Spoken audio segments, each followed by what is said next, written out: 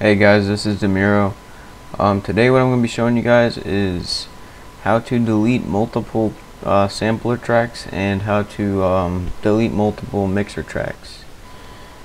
Uh, this is pretty easy. Today I'm just going to go easy today.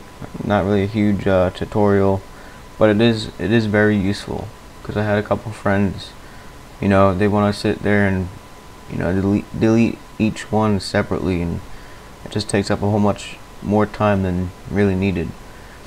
Alright, so here's how we do this. Say, let's say I want to keep number 1, number 3, and number 5. but I want to delete 2, 4, and 6. Now, normally people would like, they would right click, click delete, and then keep going, you know, delete, delete, now that takes up a lot of uh, unnecessary time. So today I'm going to be showing you how to do the easy way. What you're going to do is right click. Okay, first you're going to select the one you want to delete first. So I got one and I'm going to delete three next. So you're going to right click right on the little tab right here. Because if you try to uh, left click it, it's just going to, it won't, like you can drag them and it'll select them all but if you want to like do separate ones it's going to be right clicking so I'm going to click 1 right click 3 right click 5 click alt on your keyboard so hold alt press delete on your keyboard and then hit enter. Done. Just that simple. Instead of you know picking out each one oh I'm going to delete this I'm going to delete this. So much time saved. Now, say you put a whole bunch of crap on a mixer, you didn't want it.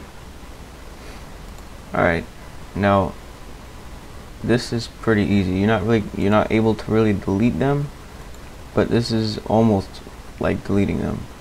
Now every FL Studio comes with a default uh, mixer preset, and it's just you know blank leveled out to 100%. So pretty much, I mean, if you want to make make your custom one, let's say I want to have a, uh, where is it at? Wave Candy. I want to have Wave Candy load up every time I open up a new track. So pretty much what you're gonna do is, where's it at?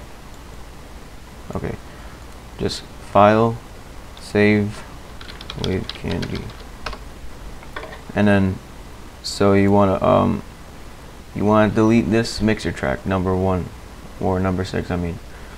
You're just gonna uh, right click it click F on your keyboard enter and then select wave candy. See it's already there so I'm just gonna click enter and it's quick. So now say you just want a, a blank you know clean slate. What you're gonna do same thing right click it click file I click F on my keyboard to go quicker and then click enter to open. So let's do that again right click F enter and then I'm gonna go to default. Okay so I'm at default. Open and there you go. So let's say uh, this one has a whole bunch of stuff on it you just want to start over clean mix. Alright so since default was your last opened uh, mixer track all you have to do is right click file open, enter. Now you can do it real fast.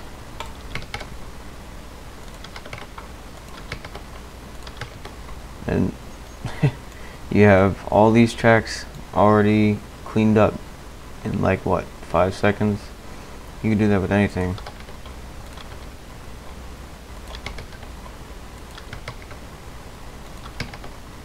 Easy, easy, easy. You don't have to go click file open with your mouse if you don't want. I like I like speeding through really quickly to get everything done as fast as possible. And efficiently of course. But I know I just find that doing all this takes a while. You, know, you select it this that. But see if you do the uh, if you use your keyboard it's a lot easier. So right click F enter enter.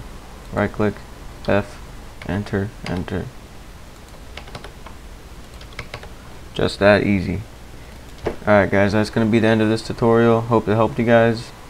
Like I said, it wasn't to be nothing huge or nothing, but it's still it's still a useful um useful tool in FL Studio instead of picking through every single one separately and uh, you know trying to delete them all like that. It's not the most quickest way to do it. But alright guys, make sure you subscribe, like, and share with your friends.